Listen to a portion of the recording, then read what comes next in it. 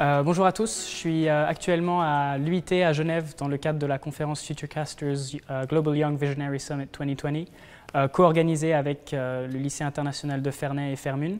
je suis avec Verena. Verena, bonjour. Bonjour. Verena, je vais te poser quelques questions. Verena est déléguée au comité de, de l'OMS. Alors, Verena, première question. Quels sont, selon toi, les avantages que l'intelligence artificielle peut apporter à notre société et notamment du coup, dans le domaine de la santé? Alors euh, tout d'abord, euh, l'intelligence artificielle est partout dans notre société, donc aussi dans la médecine.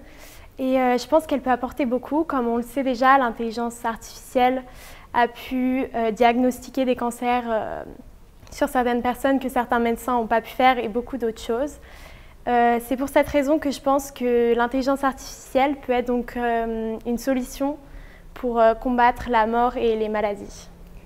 Euh, est-ce que tu penses que les, gouvernements et euh, les organisations internationales en général devraient euh, prêter un petit peu plus d'importance à la manière dont l'intelligence artificielle est développée? Alors je pense que dans tous les cas, les leaders de ce monde doivent en prêter importance car l'intelligence artificielle est déjà partout et va continuer à se développer. Et donc il est important de leur accorder de l'importance pour pouvoir faire les choses correctement. Et est-ce que du coup il y a euh, une facette de l'intelligence artificielle qui, et des nouvelles technologies en général qui, euh, qui t'inquiéterait ou qui te remplirait d'optimisme euh, à l'inverse? Il y a quelque chose plutôt d'inquiétant, c'est que l'intelligence artificielle remplace les hommes, donc aussi au niveau du travail.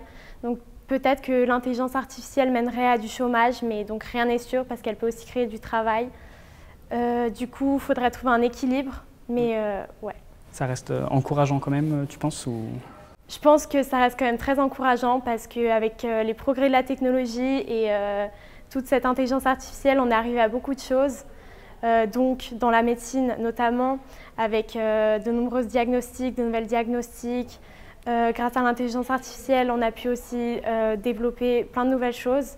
Et donc je pense que c'est vraiment quelque chose d'encourageant à poursuivre. Un bon outil. Et du coup, à la fin de cette conférence, est-ce que tu penses qu'il y a des points importants que tu vas que tu vas rapporter ou, apprendre euh, Oui, dans tous les cas, je vais déjà être très enrichie par cette conférence euh, grâce aux rencontres sûrement que je vais faire et aux sujets dont on va débattre. Et euh, du coup, je pense que ça va être vraiment des souvenirs que je vais garder.